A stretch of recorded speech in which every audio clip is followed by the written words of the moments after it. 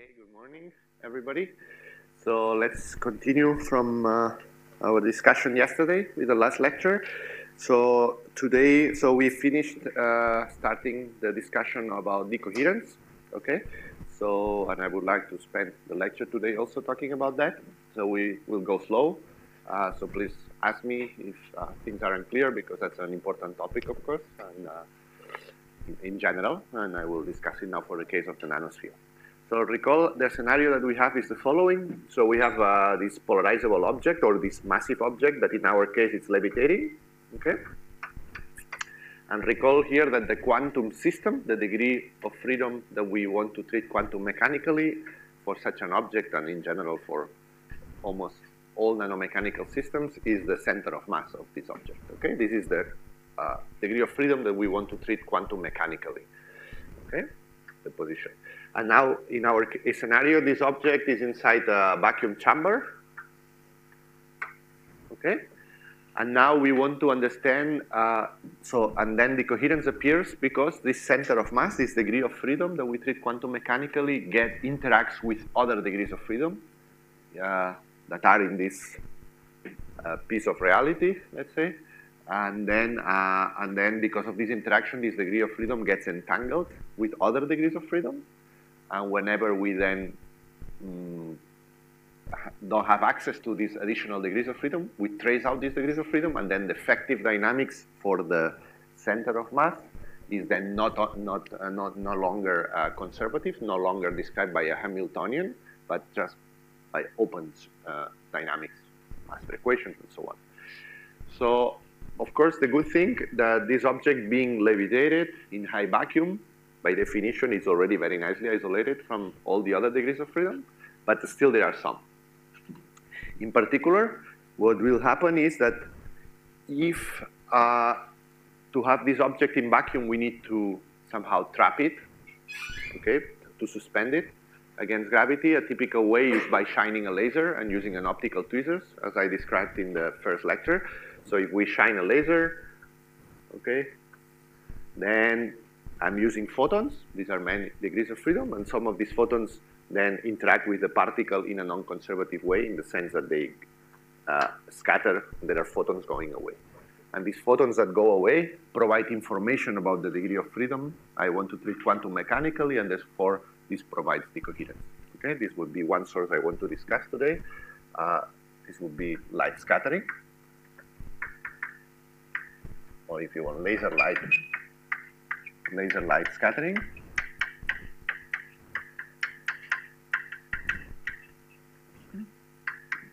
Also related to that, there would be the fact that uh, the walls of your vacuum chamber, they have some temperature, and since they have some temperature, they emit radiation. Okay? They, they emit radiation because they are hot and these photons that they are emitted from the walls scatter also from the particle and go away. So you could, in principle, also measure these scattered photons emitted by the walls of your vacuum chamber, what we call black body radiation. Uh, and they would also provide information about the center of mass. Okay, this would be scattering of black body uh, radiation.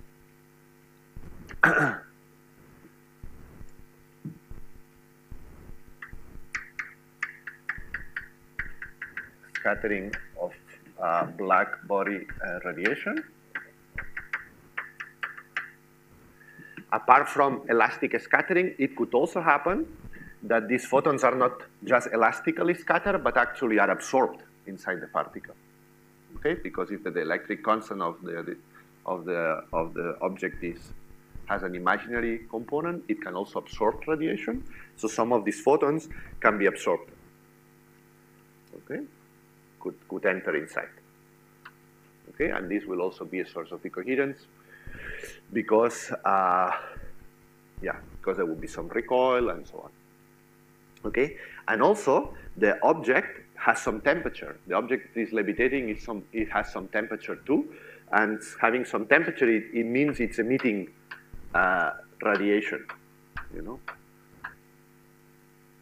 If we take an infrared picture of all of you, I would see very uh, hot spots, hopefully, for all of you. so the meaning you are emitting a lot of radiation. So if you would be now in a superposition of being on one corner of the room or on the other one, this radiation would tell me where you are, and therefore superposition is, is broken, okay? So that's uh, decoherence due to emission of black body radiation. So therefore, radiation enters into scattering, into absorption, and, to, and due to emission. And these are quite unavoidable, okay? So when you think about the Schrodinger cat paradox, okay, you should know that it's going to be always very difficult because if you take an infrared picture of a dead cat or a or a or the cat being alive, it's very very different, right? In one case, it's emitting a lot of radiation; the other one doesn't emit.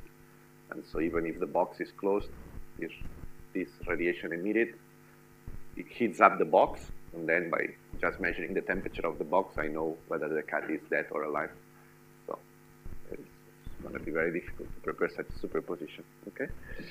And this we will explain.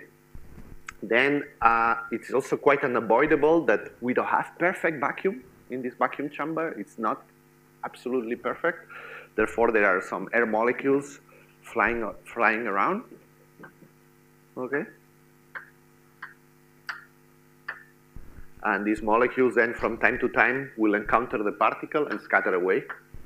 And they also provide information because if I would be able to measure such an air, uh, such a gas molecule, I would know, you know, I would get some information about where the, the object is. So this also produces some decoherence. It's uh, scattering of, air of gas molecules.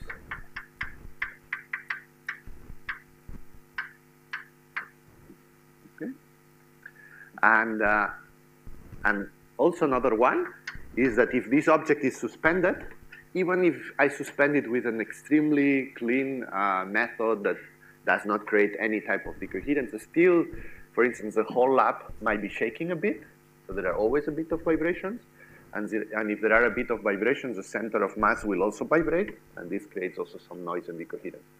This is quite unavoidable. So these are the effect of vibrations. Of course, this list could be done, could be very, very long uh, depending on the experimental situation you have. But I will discuss those ones because they are, I would say, quite unavoidable, even if you do things really, really well, okay?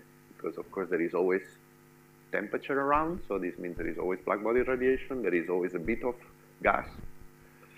And uh, if, I lose, uh, if I need to use light to, to trap objects, for sure, there will always be a bit of scattering. And if I have a suspended object, there might be always a bit of vibrations. Okay, so and I want to quantify that, but of course this doesn't mean that there are no more. In other experiments there could be more. For instance, imagine that uh, because I was not careful enough, this particle contains uh, an electrostatic charge inside. Then if the walls are made of metal or, or so, this charge could move electrons in the surface, and these electrons in the surface would also provide information, would get information about the position of the charge and therefore create decoherence. Um, yeah, there might be many, many things that could happen. Okay, but at least I want to discuss those ones. and then the nice thing, this is if you want, all of these sources would be super well explained according to the laws of quantum mechanics. So, and this is just standard quantum mechanics. But the funny thing is that some people uh, have conjectured that on top of all these standard sources of decoherence, there might be additional sources of decoherence, if you want, or sources of, um, or, or there will be mechanisms for which you cannot prepare this system in the quantum regime because quantum mechanics breaks down when the mass is very large and so on, okay? And, and for instance, this we can summarize under the name of these collapse models. The good thing is that these collapse models uh, the effect these collapse models have to these objects is actually pretty similar to these effects, okay? But just with a different strength. And therefore, if you would like to, to falsify these models, these predictions, what you should do is an experiment where all these standard sources of decoherence are really minimized, such that the dominating source of decoherence would be this exotic one. And then if you do the experiment and you see quantum effects, you, you are for sure, you have falsified this collapse model. Okay, it will be always very tough to to corroborate or to to prove that if you see decoherence, that's because of collapse models, because there might be many other so standard sources that you didn't control. But if you see quantum effects in a regime where all this is minimized and collapse models should be there, and you still see quantum effects, then you for sure falsify them.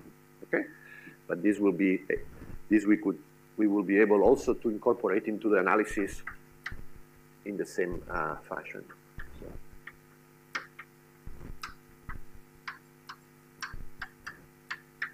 Okay, good. And then, uh, so if you want to know, uh, so I will make a summary of how to analyze these things, but uh, some details, I mean, these things are known for, for, for many decades, but uh, we wrote a paper where we summarized some of these things and uh, on the same uh, with the same the, yeah with the same notation that we use in the lecture. So if you want to go for further details, you can look into this paper.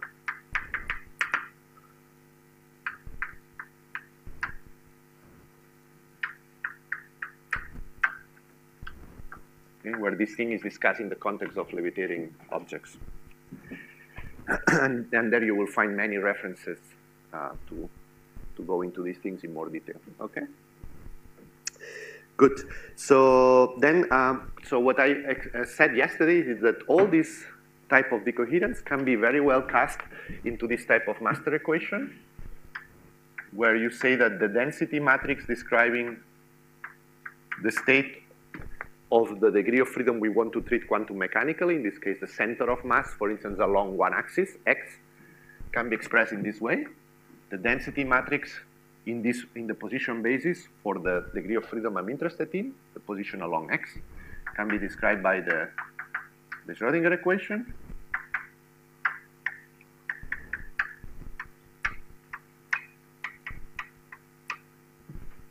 plus a decoherence term of that form. Okay. And I said yesterday that this decoherence rate is actually might depend on on the distance of so it might depend on on which term which of the diagonal terms I'm looking at in the following way. So this guy actually the, is a function of x minus x prime in the in the following way. I mean, this is an approximation, which is actually uh, it's a model that I use or that people use to to be able to characterize all the sources of decoherence pretty well, okay? And the good thing is that by definition then, we will be able to somehow parameterize all the sources of decoherence just with two parameters. This small gamma, that is a frequency, and this A, that is a, that is a length scale.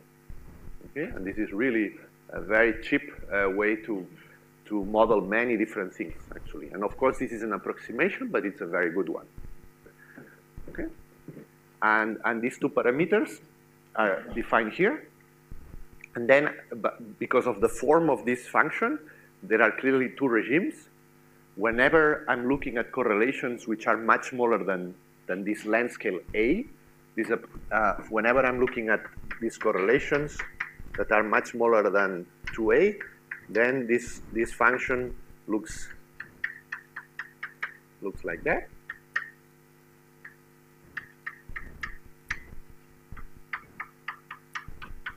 Okay, so the decoherence rate grows uh, with, the, with the correlation distance. And this constant that appears here, we redefine it as a new one that is going to be very important. It's called, it's called capital lambda. So in that regime, the coherence then is described just by a single parameter, this capital lambda, this localization parameter.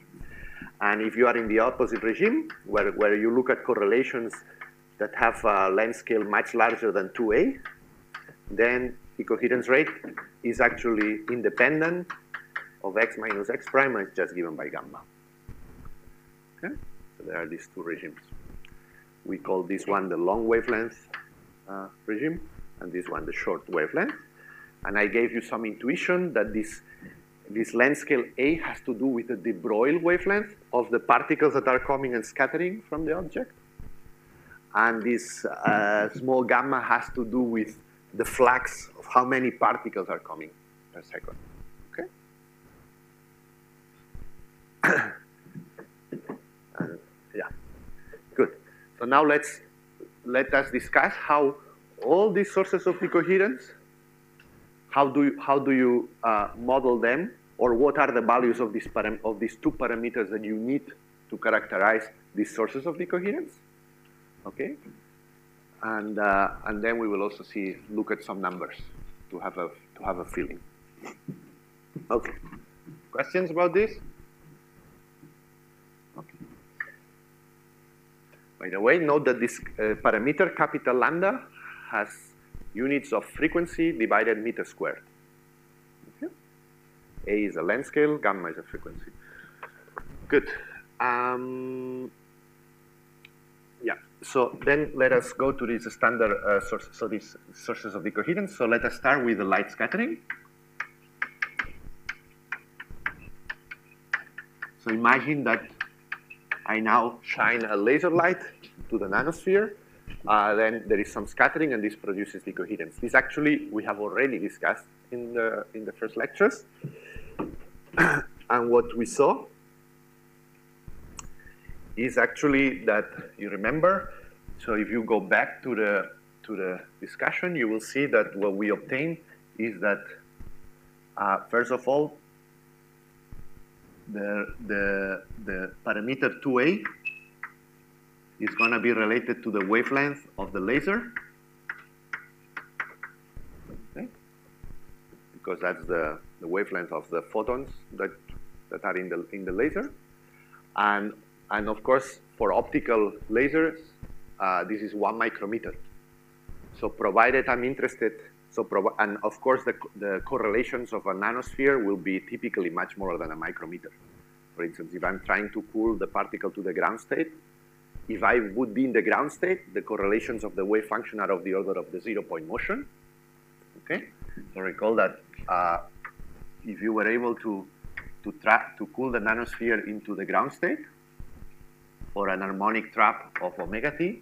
The, the wave function is just a Gaussian wave function with the width given by uh, the length scale h bar divided 2 m omega t. Okay, and this is a good number to remember. So if you use a, a trap frequency of uh, of 10 to the 6 hertz, so megahertz, and then you, you, you assume now the mass is n times an atomic mass unit, okay? And being the number of atoms, then this length scale is always of the order of 100 nanometers divided the square root of n. Okay, that's typically the length, uh, the width of a of a trapped atom in a in a in a potential of 10 to the 6 hertz. Now, if you trap a much more uh, massive atom that contains actually a mass that is n times atomic mass unit, the wave function in the ground state gets shrinked to a length scale given by that.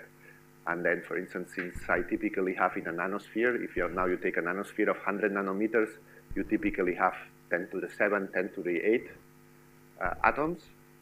This means I, I get four orders of magnitude here. So I have 10 to the minus 7 on top, divided 10 to the 4, I get 10 to the minus 11, which is a typical number for the zero point motion for a nanosphere. 10 to the minus 11 meters, okay?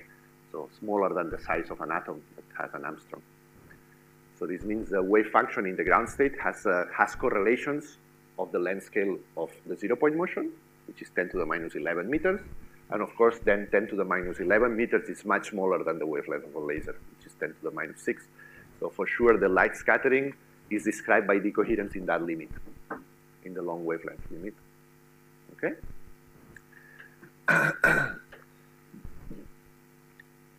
so, so for so since then, x zero, so the zero point motion is much smaller than the wavelength of the laser.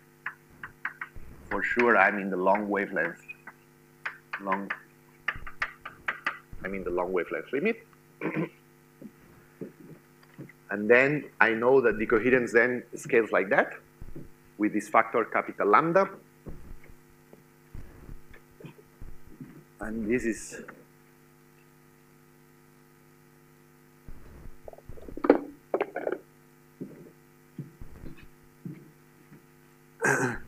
And if, uh, so we showed, and actually we showed in the first lecture, or in previous lectures,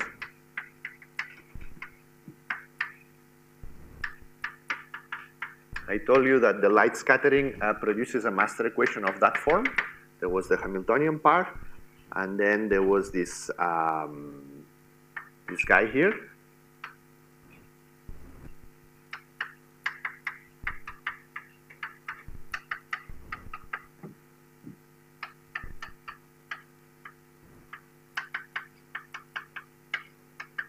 Okay, you remember if you look back at your notes, you will see that we wrote this master equation for the motion, where we had this gamma m. Okay, this guy now can be rewritten in this form. Um,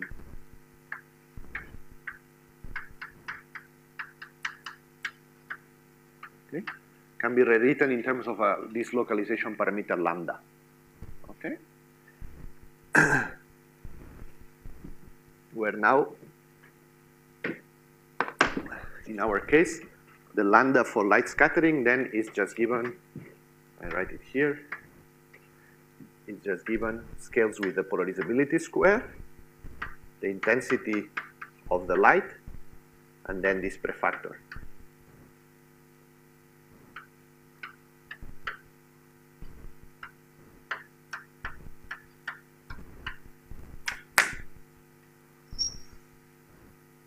Okay, there is this prefactor always. Polarizability, the intensity of the laser, the wavelength of the laser to a power of five, and just natural constants. Okay, so this you can already put. So then, uh, if you would have now, recall that this is the localization parameters, which has units of frequency divided meter square. So for instance, now if you have a particle that you want to cool to the ground state, the heating rate is going to be this times the zero point motion squared, because that's the correlation that I'm looking at. Okay, so if I I'm able, so if I'm trying to to cool down this particle to the ground state, I will have a cooling rate, but the heating rate the heating rate is going to be this gamma m, which is then the zero point motion squared times this gamma laser. Okay, and now you can already put numbers, so you could play with this expression and and see for a nanosphere, if I use a laser beam of some power, uh, then you can already put numbers and get the heating rate in terms of hertz. And then you should compare this heating rate in hertz with the cooling rate that can be achieved with sideband cooling. Okay, and you would need for sure the cooling rate to be larger than that, otherwise experiments could not cool these particles to the ground state. Okay? Good. The good thing is that now whenever we have scattering of light, basically the localization parameter always has this form. Polarizability squared, the intensity of the light, and the length scale of the, of the electromagnetic field, and this constant. Okay? So hence, we can already uh, predict what's going to be the decoherence rate due to scattering of not now laser light, but of the radiation emitted by the walls. Okay? You will see now how we will make, uh, so of course this can be derived very rigorously, but I will give you now a hand waving way to already get the scaling, okay, which is really nice thing.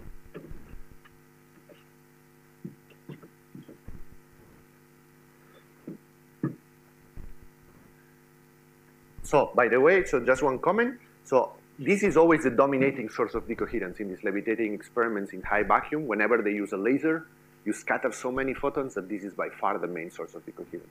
Okay? So whenever I have a laser on, that's the main source.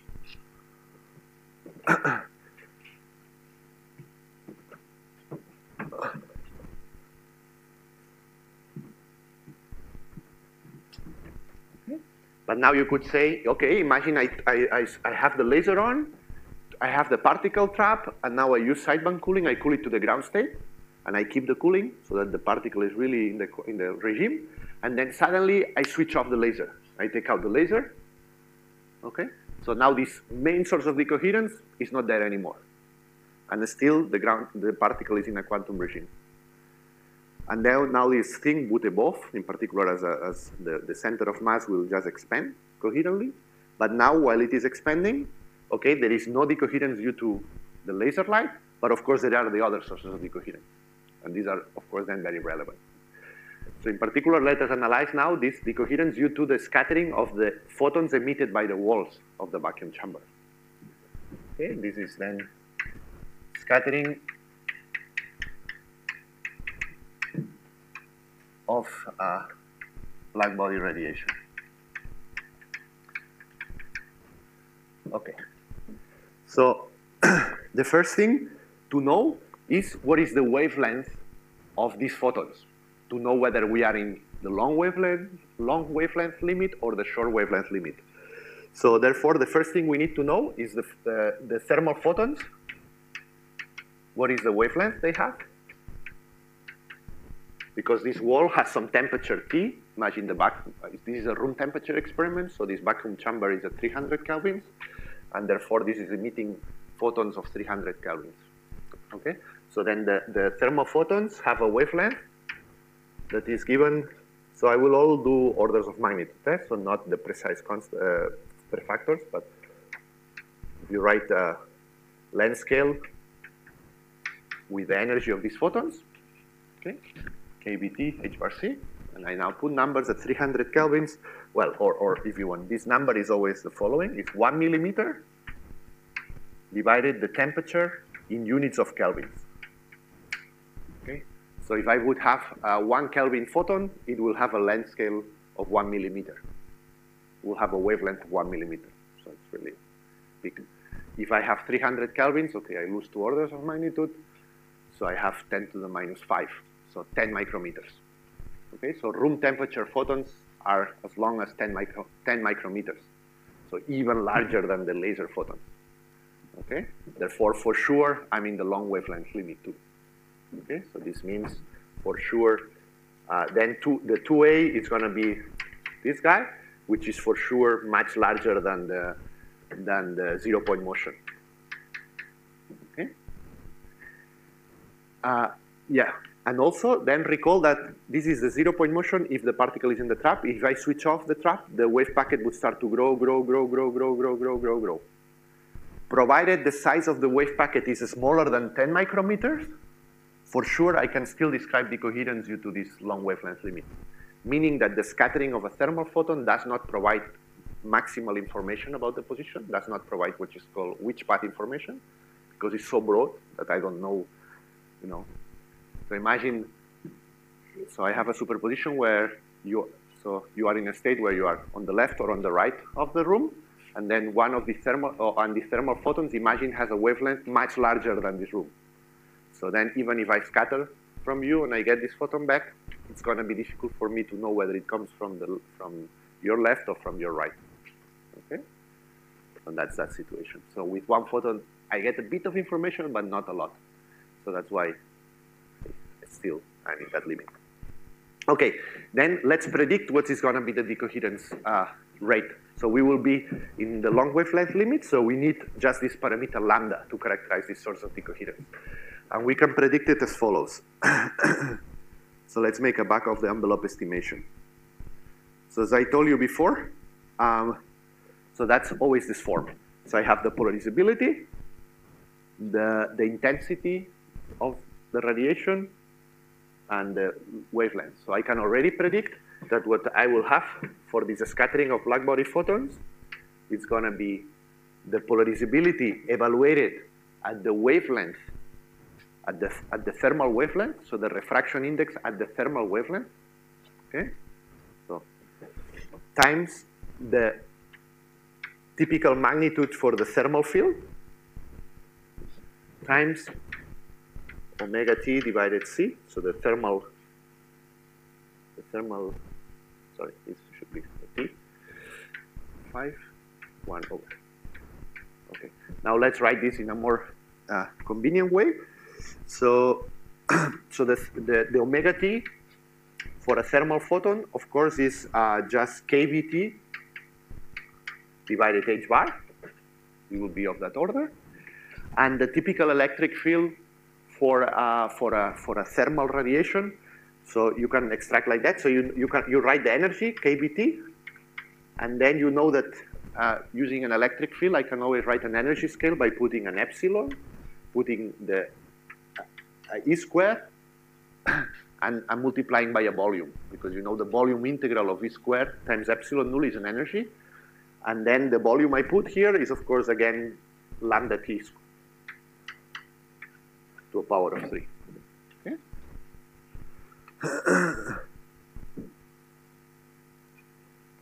okay, so let's put it like that. C omega t to a power of 3.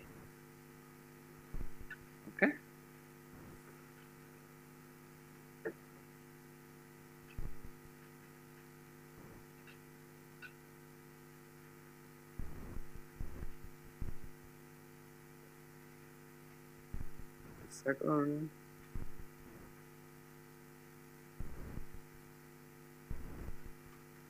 Uh-huh.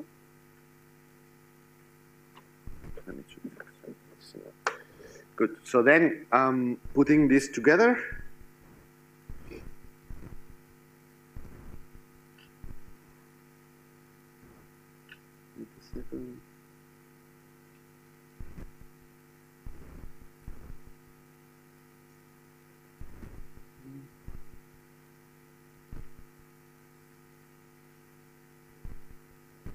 Exactly. And now uh, writing this omega t uh, in terms of temperatures. Okay, what I get is the following.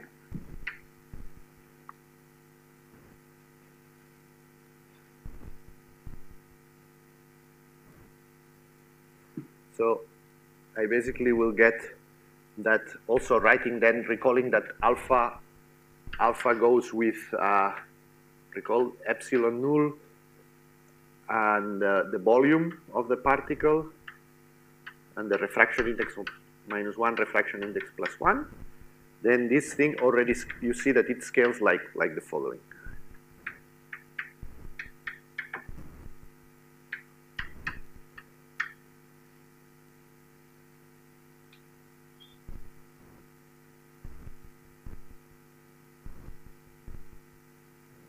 confused about something. But...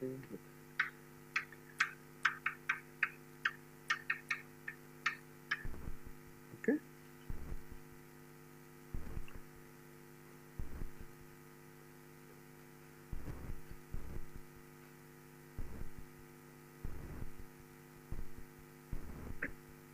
Good. Yeah. So then you had already this amazing scaling with the temperature. So this decoherence rate goes with uh, the radius of the particle to a power of 6, which is a reminiscence of the uh, Rayleigh uh, cross-section, scattering cross-section of a, of a dipole, which always goes like r to the 6. And then this uh, super high power on the temperature of the wall, okay, then uh, t to the 9. Okay? and then this is the refraction index evaluated at the thermal wavelength. Okay, and actually this expression up to factors is exactly this, the the one that you get if you do this calculation really carefully.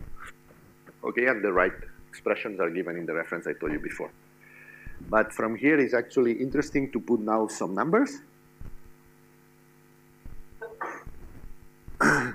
so, and, and this is the localization parameter, okay? So if now you would have your particle trap in the ground state and inside the wall that is emitting photons and scattering, the decoherence rate is going to be then this lambda black body times the zero point motion square. If instead of being in the ground state, you have a larger uh, wave packet, then here you would change the zero point motion by the, uh, by the length scale of your wave packet or your superposition state. And now you can also again put numbers into into that, and uh, I think I think it's nice to do it. So let me show these numbers here.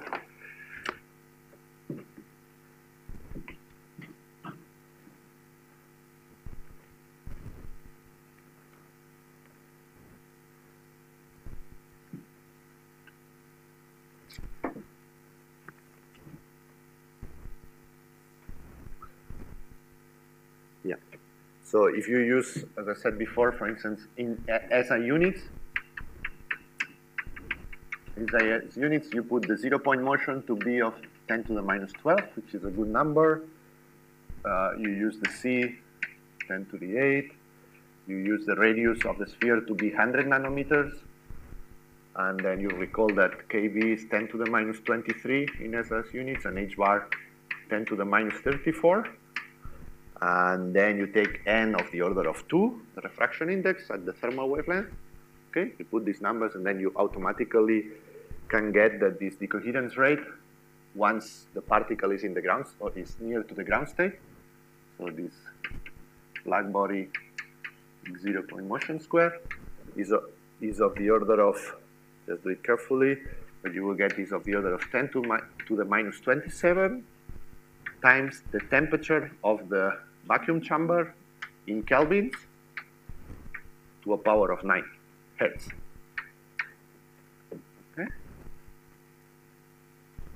So this means that if I have the, if the vacuum chamber is at, at uh, it would be at 1,000 kelvins, I would, I would get the coherence rate of 1 hertz, so heating rate of 1 hertz, which is quite small. Okay? This is just to show you that if you want to cool to the ground state, the heating due to the black body radiation from the wall is completely negligible. Okay? But of course, note that uh, there is a, a dependence here with the zero point motion. So if instead of being in the ground state, I'm trying to prepare a wave packet of 100 nanometers, for instance, really delocalize the center of mass over 100 nanometers. This I would go, instead of 10 to the minus 12, I would go to 10 to the minus 7. So these are five orders of magnitude, which being squared are 10 orders of magnitude. Then I would get 10 to the minus 17, okay? And this means that then if I would be at 100, in a, I would try to do this expansion on a chamber at 1000 kelvins, then I would get a decoherence rate of 10 to the 10 hertz. Okay? So be careful. So that's why uh, the scattering of black body radiation is negligible. So the effect is negligible once you want to cool to the ground state. Okay, Pro no problem. But if you then switch off the trap and let the wave packet expand, then this actually is the dominating uh, limiting factor. Because of that, this is scaling with a length scale and this enormous um, dependence on the temperature. Okay? Then you could say, okay, good. Then what I do is I just don't do a room temperature experiment. I just put this vacuum chamber in a, in a dill fridge such that I have this temperature then, instead of being one Kelvin, is actually 10 millikelvins. Okay, it's 10 to the minus 2. So I get 10 to the minus 18 here. So forget. Then I can prepare really large superposition. Okay, that would be a possibility. But, okay, this temperature is going to be very cold. But what happens about the internal temperature of the sphere? You are shining lasers. Uh, this particle is absorbing these photons, and it's really hot. As I told you already in experiments, they measured that this, this particle has a temperature of 1,000 Kelvin. And even if its environment, if the walls are at millikelvins, if you're shining a laser, you're absorbing this uh, heat. And, uh, you know, the cooling process, so the thermalization with the wall, it's not happening because it takes ages, and you are just putting heat into the particle. So this will still be at 1,000 kelvins, and therefore will emit radiation. So let's estimate what is the decoherence due to that. This would be the third one.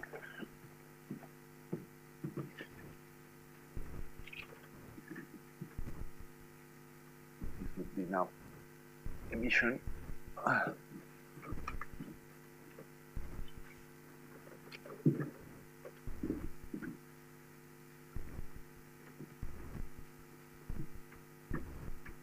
now let's talk about emission emission of black body radiation and for yeah in this case uh, I cannot so I have, you have to believe me. I will write you what is the expression. Again, the thermal photons you are emitting are, have a very long wavelength. So still, you will have that uh, 2A, which is the wavelength of the photons. Is still much larger than the relevant length scales in the problem. So we are in the long wavelength limit. Okay, and therefore the decoherence is characterized by a localization parameter, which in this form, in this case, for the emission, just believe me, this has this, this has this expression, it is scaling.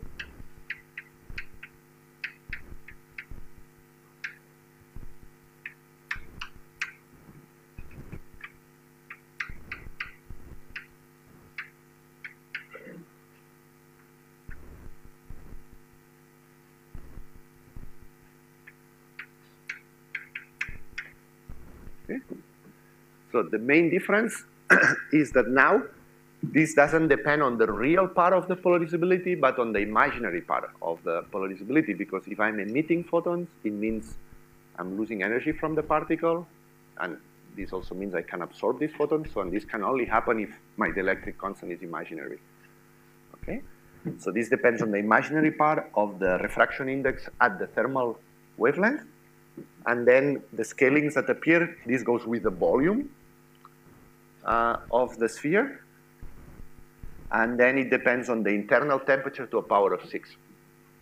So because you might all remember that uh, uh, uh, a thermal, so an object, we always learn in, in basic physics that it emits thermal radiation with a power that is proportional to the surface, right?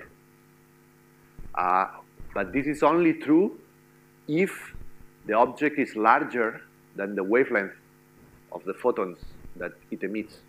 Okay? This is okay if the object is much larger than the wavelength of the photons, which is the case with a large object. As soon as the object is actually smaller than the thermal wavelength, it doesn't emit proportionally to the surface, but to the volume. Okay? And that's why here it appears volume. Okay? Not the surface. Just a detail.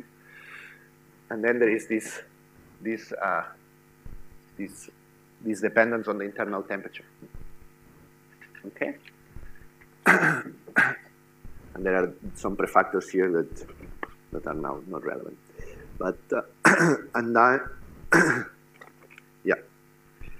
And, and therefore, since uh, for an optically manipulated sphere, this internal temperature is of the order of maybe even several hundreds of kelvins, close to 1,000 kelvins, even if I would do this experiment in a cryostat, if I use light, this object is that hot and it's emitting photons, and then you could also put numbers. And you will see that again, for uh, if the particle is in the trap and is really, you are trying to cool to the ground state, the heating rate, which is this uh, gap lambda emission times the zero point motion, also for 1000 kelvins is completely negligible. This heating rate is is not important. However, if now I'm trying to expand the wave packet to really large length scales for matter wave interferometry, then the decoherence rate is actually this times the, the length scale of the wave packet, sigma, which can be many orders of magnitude larger than the zero point motion, then this is the dominating. This is a super limiting decoherence factor for matter wave ex experiments of hot particles. Okay, and, and uh, in the reference I gave you, you can see quantitative statements about that. Okay. But for instance, yeah.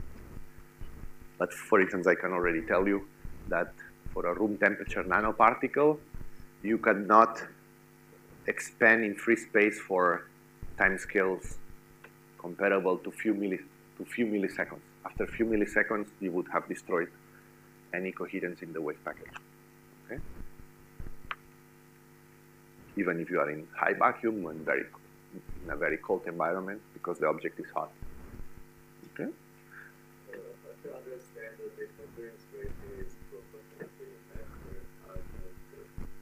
because it's uh, because this source of decoherence is due to the emission of photons. And uh, the electric object can only emit radiation if the, the dielectric constant is imaginary. Because of the, if you want, it's because of the fluctuation dissipation theorem. If it, if it emits, it's because uh, its polarizability is fluctuating, and this requires an imaginary part of the dielectric constant. So emission is, has to do with absorption. And uh, you can only emit if you can absorb. And you can only absorb if the imaginary part is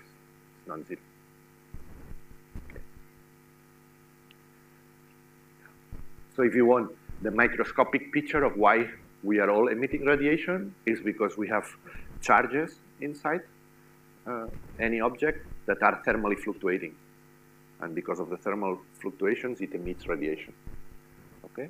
And, uh, and, this, and these fluctuations and these thermal fluctuations are then, we describe them in electromagnetism by putting an imaginary part of the dielectric constant. Okay? Good. Okay, just a comment. Uh, if uh, this is the decoherence rate due to the emission, the decoherence rate due to the absorption, absorption is actually the same. The only thing that changes is the temperature. This would be the internal temperature. If you consider the decoherence due to absorption, the only thing you need to change is the temperature. Now it's not going to be relevant here, the internal temperature, but the external temperature. Okay? External. External. Okay? Because now in the emission you are emitting photons that have a thermal wavelength given by the temperature of the nanosphere. For the absorption decoherence, you are absorbing photons that have a wavelength given by the thermal, uh, by the temperature of the environment, which is different. Okay, this could be the cryogenic uh, temperature. That's why if I have this levitating sphere in a cryostat, the scattering of black body photons is negligible because it depends on the photon, on the temperature of the, of the environmental photons, which are really, really cold. The absorption is also negligible because it has to do with the external temperature, but the, emission, the decoherence due to emission is, it, it, depends on the temperature of the body, which is really hot. Okay, and then that's the limiting factor. So to then overcome that, then we should, then the message is, okay, we need to use cold objects. Okay, because if we use also cold objects, this decoherence rate will be very much suppressed. And this seems difficult to be done with optically levitated, uh, optically manipulated dielectric spheres because they will always be hot because they absorb light. So, and a perfect, uh, perfectly transparent object doesn't exist.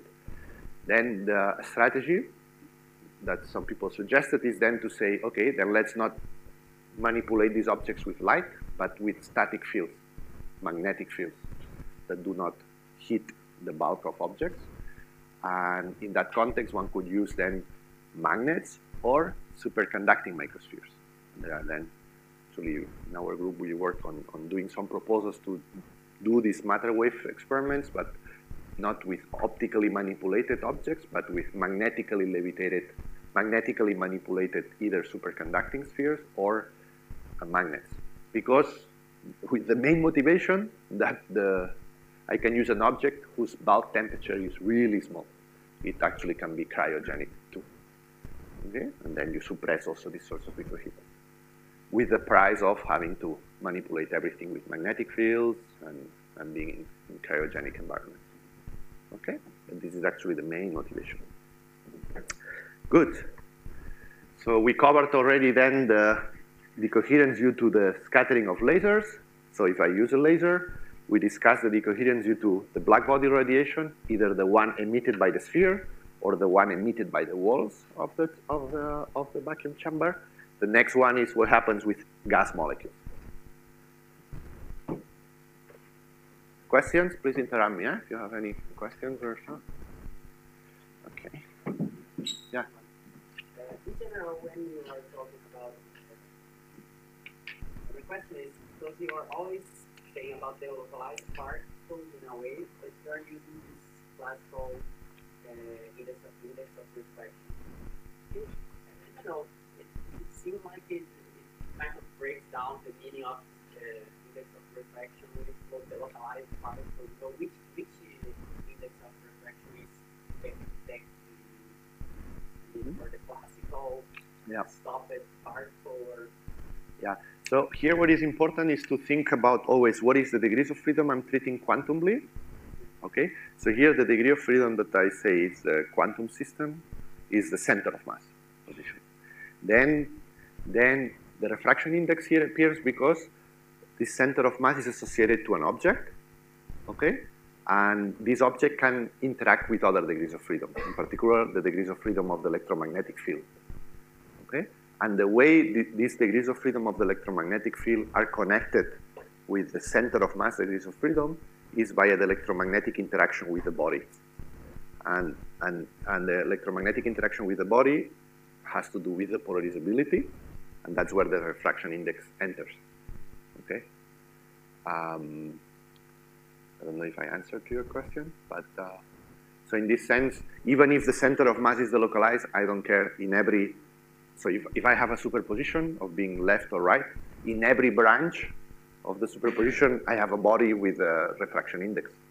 And of course, the refraction index is the same whether the particle is in the left or on the right. Otherwise, this would uh, create decoherence. If uh, you would do an experiment where, for instance, imagine I do a matter wave interferometry experiment where I send a particle going through the left of the room or through the right of the room. Imagine that on the left of the room, the environment, uh, the environment, the temperature is higher. Okay, so then when the particle goes to the left, the temperature is higher, so the refraction index, if you want, changes. Whereas when it's on the right, not. This will provide which path information and would create decoherence too. So these type of things would be relevant. But, uh, but provided the refraction index doesn't change in all the branches of the superposition, and this is just a parameter.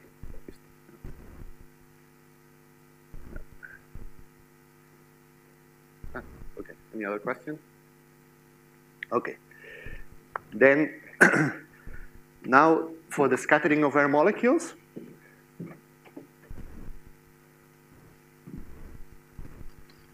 or gas molecules, depending on the environment, of course.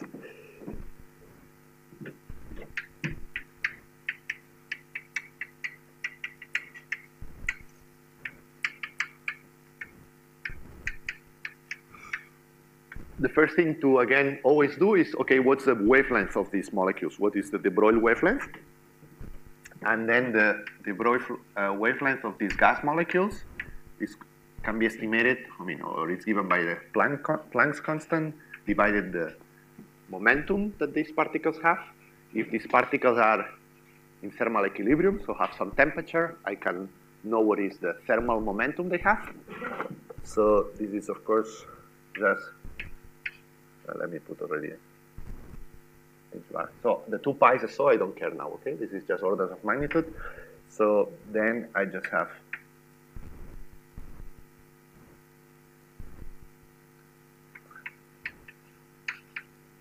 So this is mass times uh, the energy, so the square root, this gives me a momentum. Okay, and this would be the mass of a typical gas molecule.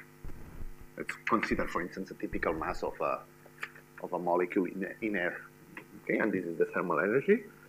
So if I use, for instance, the mass of the typical air molecule to be 30 atomic mass units, which is quite okay, then this uh, wavelength is of the order of 0 0.5, 0. Okay, 0 0.15 nanometers divided the temperature in kelvins.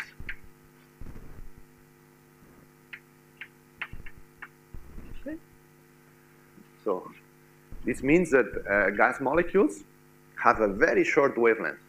Actually, for a room temperature air molecule, uh, this is like 10 to the minus 2 nanometers, so 10 to the minus 11. So comparable to the zero point motion. Okay, okay so that's why here we have to be careful. So depending in which regime you are, so for instance, the typical scenario is if you are cooling the particle to the ground state, then typically the zero point motion, so the zero point motion will be smaller than the, than the, than the wavelength of the gas. So for describing heating rates when you are trying to cool to the ground state, typically you can use the long uh, wavelength limit. But if you are trying to do matter wave interferometry, then typically the size of the wave packet is actually larger than the than the wavelength of gas molecules. And this means, and that's why we had the discussion in the very beginning, that in that regime, you need to use the short uh, wavelength limit. Okay? And this makes sense because if I have a superposition, if I have a sphere, if I delocalize the sphere over a length scale larger than this, which is in principle doable, then a single scattering event will provide maximal information. Okay? That's why. Because if I have you know, a superposition of having the sphere here or there and with a distance of one micrometer, then as soon as one air molecule touches the sphere, I could measure this air molecule and I would know exactly whether the particle was on the right or on the left. Okay, so then the decoherence rate in that case is not uh, is basically given by the probability to scatter a single particle. Okay, so in that limit, the rate I will get for the decoherence, which is this gamma, it just has to do with the probability to, scan, to scatter a single particle.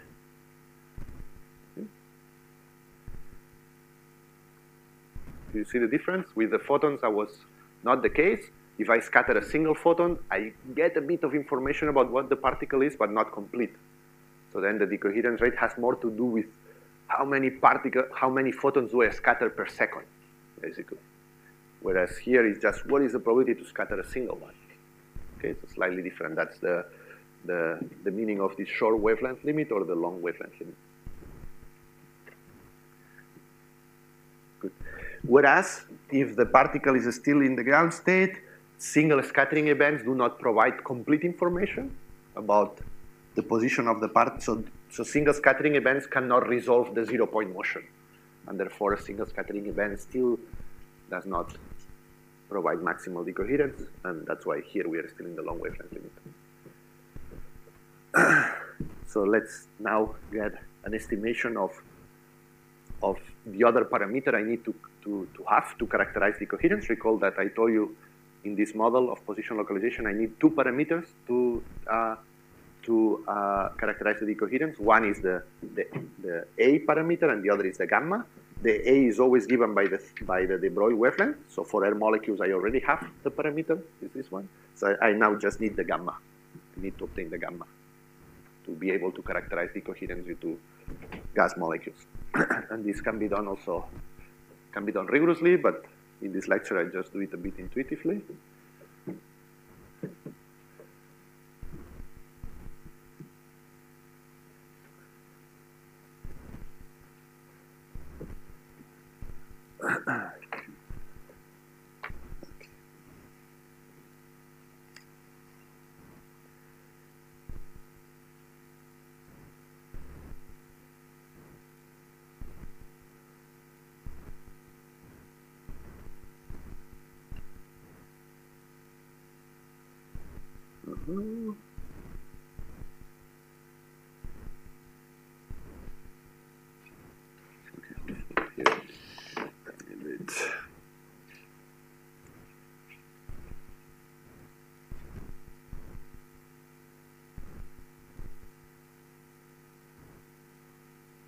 So first of all, let me tell you already that this uh, gamma R can be written like that. There is a prefactor.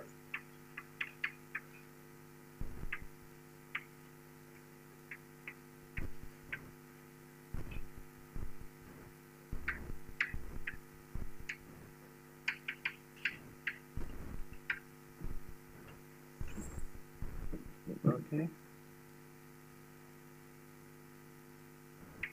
where this is the thermal uh, velocity of the air molecules, which is of the order of.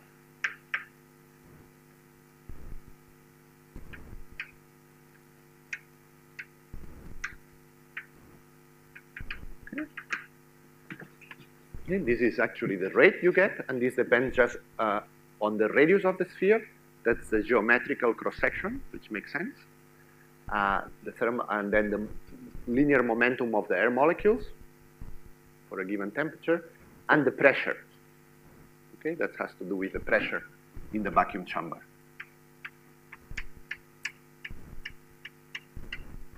Okay. And this gives you a, a, a frequency, so that's the rate, And recall that in the long, in the short wavelength limit, this means that all the off-diagonal terms in the master equation will decay exponentially with this rate.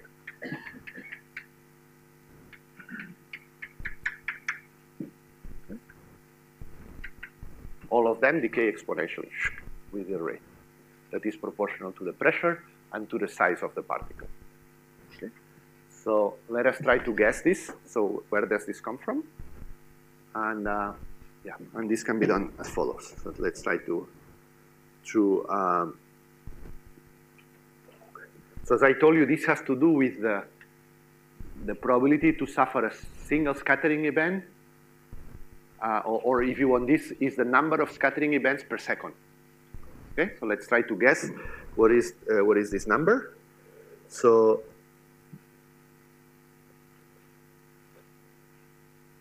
so imagine that uh, you are now in a in a region where there is some density of air molecules given by, uh, by rho.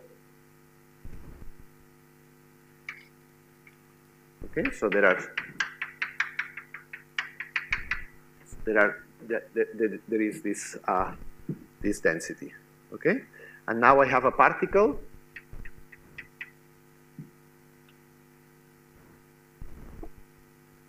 And now let's go to the reference frame where the particle is actually, and, and these air molecules are all moving with uh, b bar, okay, with the mean velocity. But now let's go to the reference frame uh, with a moving reference frame with a sphere moving at velocity b bar, okay, such that all the air, molecules are on average, uh, are basically almost not moving. So then, um,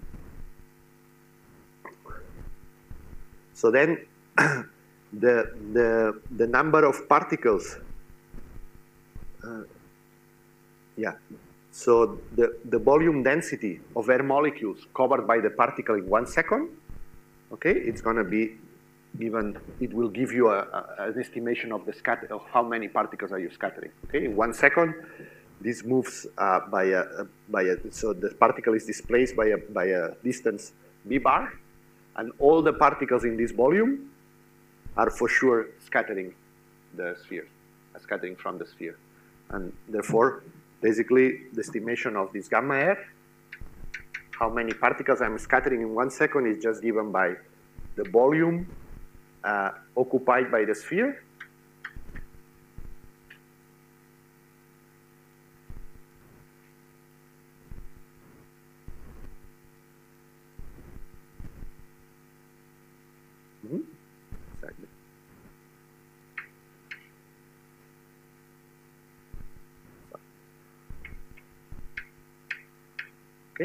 So this is the volume that, that the sphere occupies in one second, okay? Because this, the sphere has a surface r squared, and it's moving with a velocity b bar. So in one second, basically, I cover all this volume given by r squared, s squared b prime. And all the molecules that are inside here, okay, the density of, of molecules is given by the density, rho n.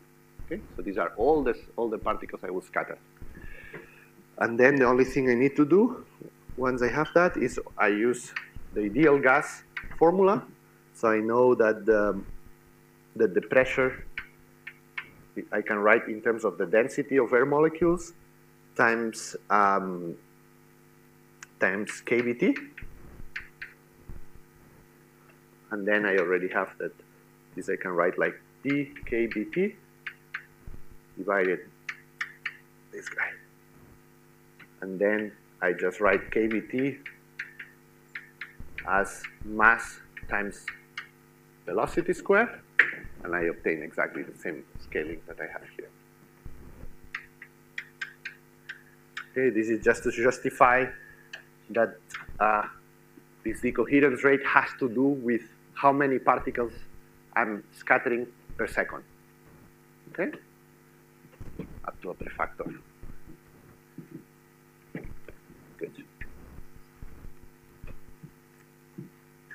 Okay, so again, let's put numbers now into that expression.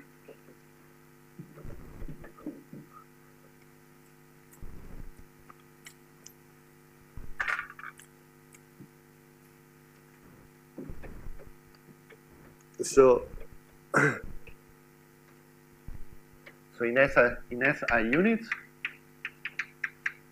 and recalling that one millibar is 10 to the minus 2 pascals. I sorry, 10 to the 2. Then, if I take a sphere of 100 nanometers, uh, and I consider the typical uh, mass of the gas particles to be 10 times the atomic mass unit, so 10 to the minus 26 in SI units. And I consider this to be in a room temperature environment, so temperatures of the order of 100 kelvins. Then I automatically get the, the decoherence rate for such an object, or how many particles do we scatter per second, is, of, is 10 to the 12 uh, times the pressure in millibars, and all of these in hertz. Okay? So this means that if I have a, a sphere of 100 nanometers in an environment of 1 millibar, I scatter 10 to the 12 particles, 12, 10 to the 12 air, mole, uh, air molecules per second. Okay? Therefore, to do matter wave interferometry, for sure I need to go to quite high vacuum. For instance, ultra high or, or very, uh, how it's called? In, yeah, high, high vacuum, ultra high vacuum is what 10 to the minus 11 millibars. I'm not an experimentalist, but you should tell me. So I guess 10 to the minus 11, 10 to the minus 12 millibars. So this means that even in ultra high vacuum, I will scatter a single air molecule per second. So this means that if I want to do matter wave interferometry, I want to let the wave the, cent, uh, the, the, the wave packet expand. At max, I have one second of time, uh, because after one second, I will scatter a single air molecule and I will destroy the wave packet. Okay. So, and this is for sure a necessary condition if you want to really prepare large superpositions of massive objects. You really need to be in a very good vacuum. So as far as I know, if you would take such a, such a vacuum chamber, you would prepare it in vacuum, like maybe 10 to the minus 8, 10 to the minus 9 millibars, and now you would put this vacuum chamber inside a dill fridge to 10 millikelvins. Uh, there are indirect measurements that tell you that the vacuum there could be really, really large, so approaching 10 to the minus 16, 10 to the minus 17 millibars. Because there were some experiments in the Gabrielse group in Harvard where uh, they did, uh, well, where they had some measurements done in a cryostat in high vacuum, and the measurements somehow were, uh, were required, so the results they were getting were uh, a necessary condition was that the vacuum chamber there was at 10 to the minus 17 millibars. Of course, there are, as far as I know, no ways to measure such a pressure, so you can only measure it indirectly, and these measurements show that but this would be then the ultimate limit. but for sure, that's uh, an important limitation. Okay. Recall also that furthermore, this decoherence rate goes with the radius square.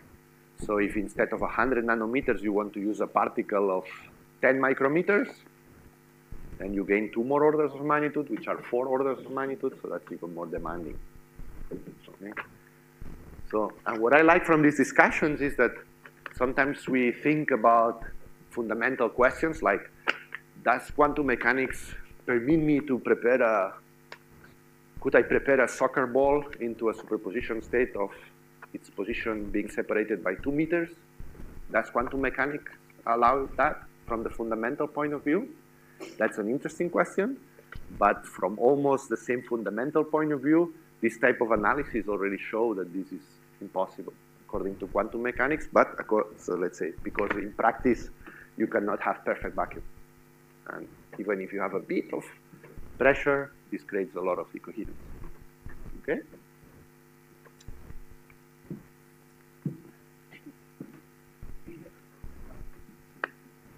Huh? Then we don't know. This we should explore. But the problem is that, uh, yeah. So even in, as far as I know, I think in interstellar uh, regions, the vacuum I think is 10 to the minus 17, 10 to the minus 18.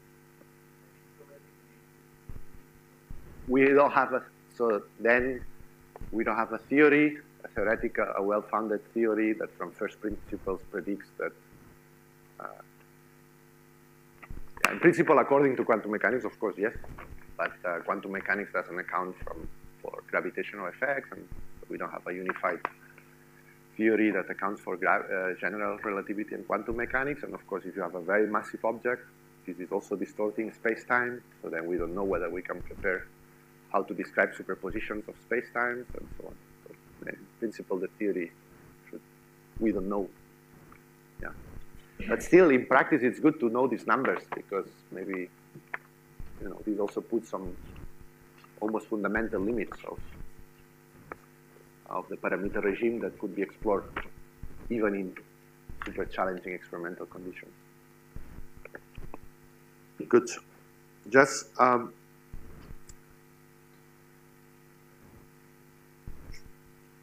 yeah, one uh, further comment that I want to do with air molecules. Again, recall this is uh, this decoherence rate appears here and in a situation of high vacuum. Okay, and this should uh, and, and then this should be related, but it's different to to what we say. What is the Q factor of a levitated sphere due to uh, due to damping because of gas? Okay, it's slightly different, and I want to comment about that because there are always confusions about this.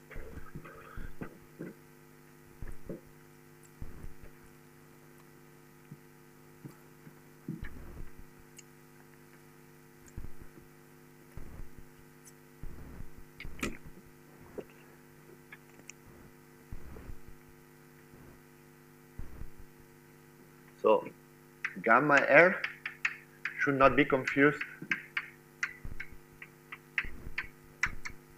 confused uh, with uh, gas damping.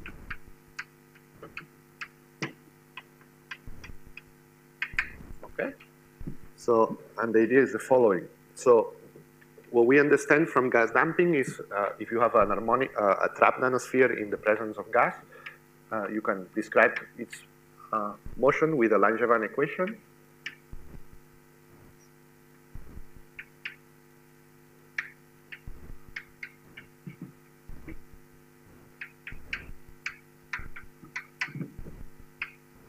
Okay, this is kind of a, the typical Brownian motion equation. I have a, a, random fluctuating force, and this random fluctuating force uh, if the environment is in thermal equilibrium, has to have an associated damping, okay, that is given by eta.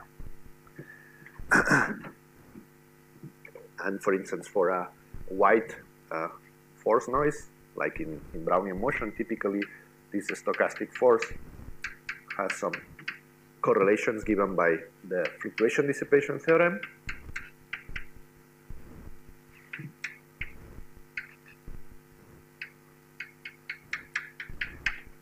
would be related in that way. For white noise, the fluctuations for a force that is that averages to zero, but has correlations that depend on the temperature and are connected with the damping by the fluctuation dissipation theorem. Good.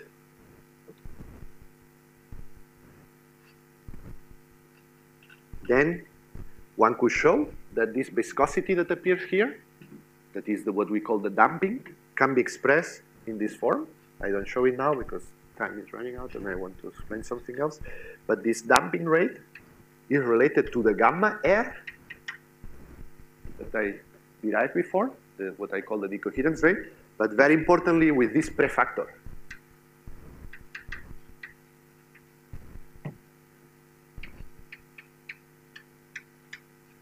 Okay, so this is also a decoherence uh, uh, rate. This is a frequency, but it's related to the decoherence rate by this prefactor, the mass of air of an air molecule divided the mass of the sphere. And this is, of course, much, much more than one. So the damping is much smaller than the gamma air.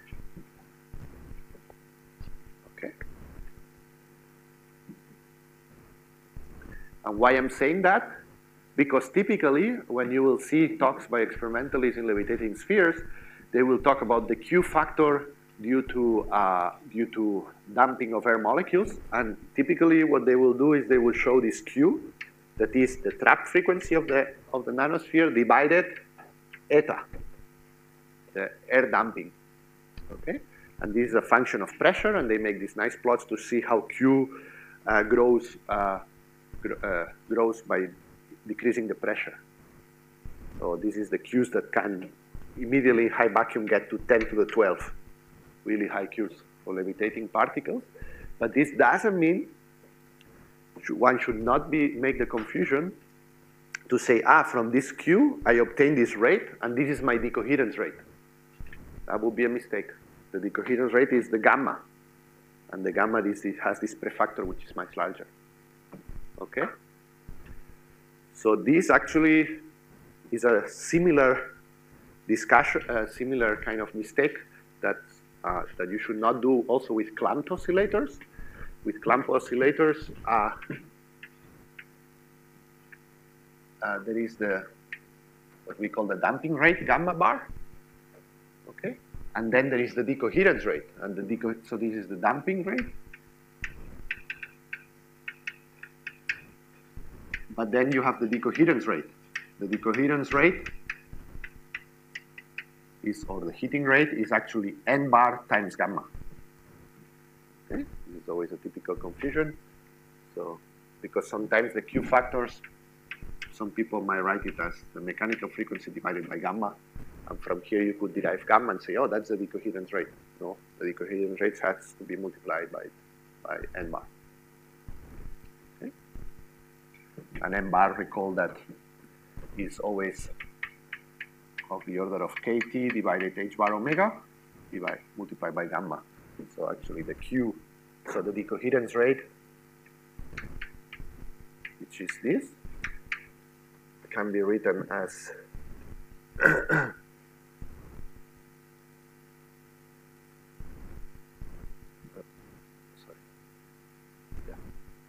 And this is just kBt h bar omega times gamma, and then omega times, uh, so gamma over omega is 1 over q. So the decoherence rate, therefore, is always kBt divided h bar q. Okay? So it is, of course, related, but there is always. So, just so that's for clamp oscillators. For the nanospheres regarding air molecules, is not the same, but somehow there is always this confusion too. One thing is the viscosity due to the gas that creates some damping, and the other one is the decoherence rate. That even in the absence of viscosity, there is still decoherence because from time to time you can scatter a single air molecule. And this has to do with what I said about position localization uh, decoherence, that this is, uh, if you want, in this scenario where I have a really high vacuum, I have a Brownian particle that still didn't go to equilibrium. So it still is far from getting to the, to the steady state. But before getting the steady state, it doesn't mean you don't scatter air molecules. Of course, you scatter them, and they provide which path information. Okay? And that is in, in this regime. Okay? Questions about this? Good. Then the last source of decoherence I wanted to discuss uh, is vibrations.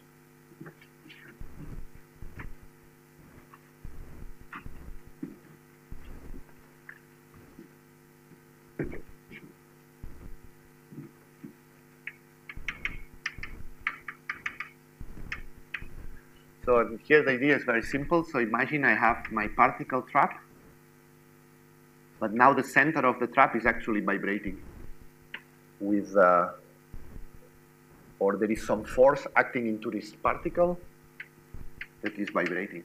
Okay, it's just shaking the center of the trap. Then what basically happens is that now my Hamiltonian is time dependent because I have the, the one that I had before plus a fluctuating force. Okay, that's just a force that is shifting the center of the trap.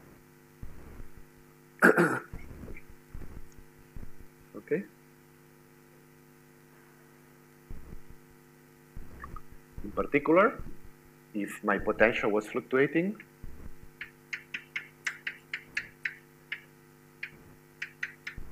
it means that the center of the potential now is fluctuating with a random variable, chi, and this is a stochastic variable. This means that automatically the force that I make, that the stochastic force that, that is acting into the particle is just minus, um, a second, put typos, minus of course m omega t squared g. Okay. So basically now there is a fluctuating force acting into the particle that is given by the vibrations. This is a random variable that has uh, units of meters, so it's the length scale, it's uh, the vibrations. And now the force is proportional to the mass, of course, and to the trap frequency because that's depending on the slope of the potential. Okay?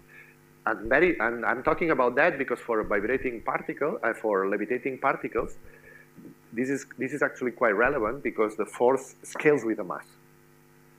Okay? So this means that we will see in a second that the effect vibrations have into levitating particles scales with the mass. So this means that if people are carefully, uh, so if people trapping an atom are a bit careful to have vibrations low, experimentally trapping an nanosphere have to be n times more careful. Okay, so and since a nanosphere has of the order of several millions, uh, almost billions of atoms. This means the effect of vibration is a million times or a billion times uh, stronger when you trap a nanosphere. So this has to be, uh, this is actually relevant. And in particular, if you want to trap uh, microspheres in a cryostat, microsphere has 10 to the 12, 10 to the 13 atoms. And in a cryostat, vibrations are always a bit more challenging, of course, than in uh, room temperature experiments. So this is relevant, and this is relevant now for experimentalists trying to levitate superconducting microspheres in cryostats. And let me be a bit more quantitative about that. So what you can see is that quite, quite uh,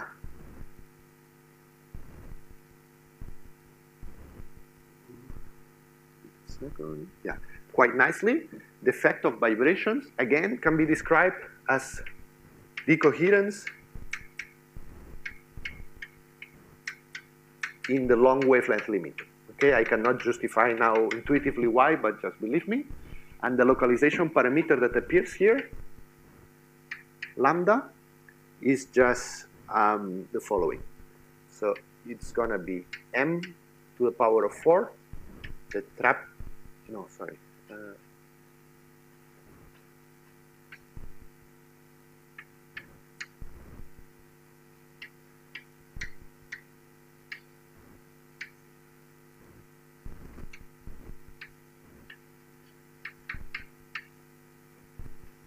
okay? It's going to be this, uh, the localization parameter is going to be this one. So the mass square, the trap frequency to a power of 4 h bar, and this function here is the power spectral density of the vibrations. So that's uh, at, evaluated at the trap frequency. So the power spectral density function of, of the vibrations at the trap frequency is basically the Fourier transform sorry, the, the time integral of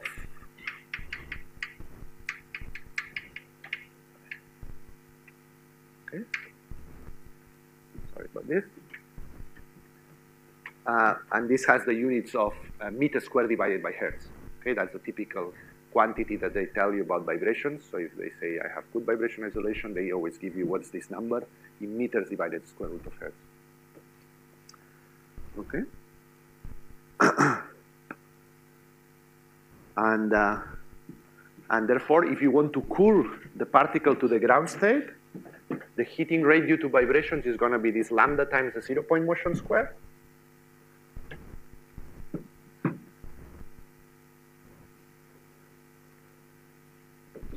So the, the heating rate then is going to be this lambda zero point motion square.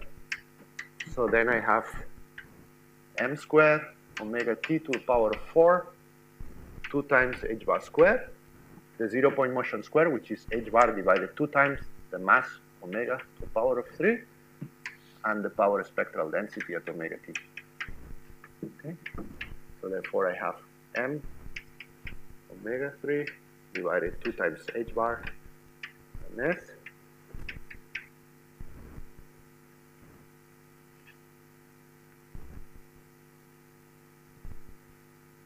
yeah and that and that's the, the units are okay because that's uh, that's uh, meter square divided by frequency so then I have mass frequency squared length scale squared which is a, a, a divided by h bar which is a frequency okay now, and this is really the heating rate uh, that you have to fight if you want to cool this object to the ground state.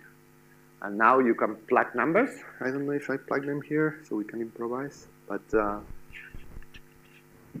yeah. So let's do that. So for instance, so the mass I write like the mass of the particle is going to be how many atoms do I have by the atomic mass unit, which is 10 to the minus 27. Then I have h bar 10 to the minus 34. and the frequency, which is 10 to the 6. So I have 10 to the 18. So let's see if I mess up now. So I will have 10n, 10 to the 34, uh, 10 to the 18. Exactly. Yeah, and this is the the vibration which I can write as meters divided square root of hertz to a power of 2.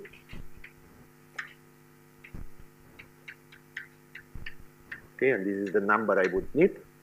And then you can already see that, uh, so this I might have messed up. So, okay, let's not analyze numbers because I will, I will mess up now but just do it carefully at home, and you will see that this number is actually uh, is actually very demanding for the. It's surprisingly demanding for the vibration isolation you require to cool these nanoparticles to the ground state. Okay, because typical numbers for these vibrations, uh, as far as I know, so for instance in a in a cryostat, it should be uh, fairly easy to get this vibration isolation at, at megahertz of the order of, let's say, 10 to the minus 10 meters per square root of hertz.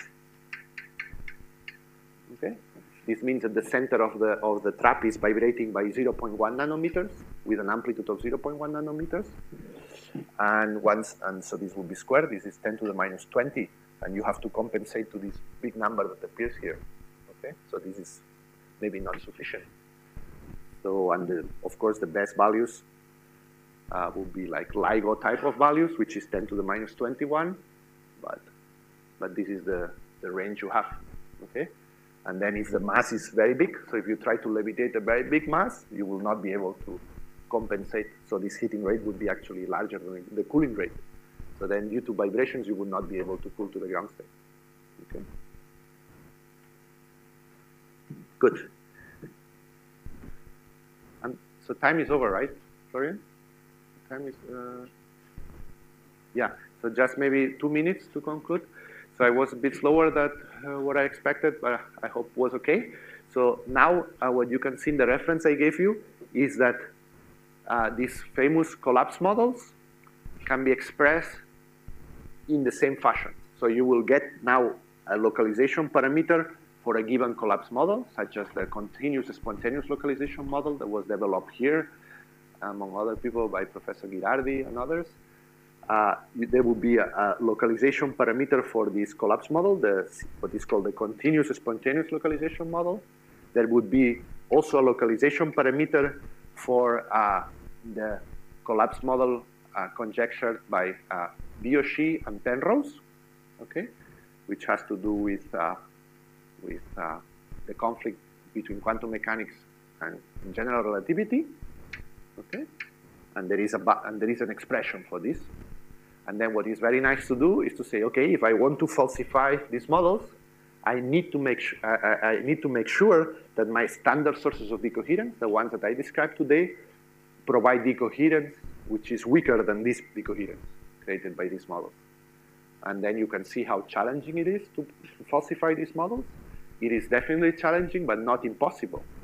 So, and that's what some of these papers analyze to see that if you have a sufficiently large object of the order of these nanospheres, a bit bigger, and sufficiently large superpositions, larger localizations, in very nice environments such as high vacuum, uh, low temperatures, both of the of the of the of the environment and of the sphere, low vibrations, and so it could be uh, possible to be in regimes where this would be by far the dominating source of decoherence.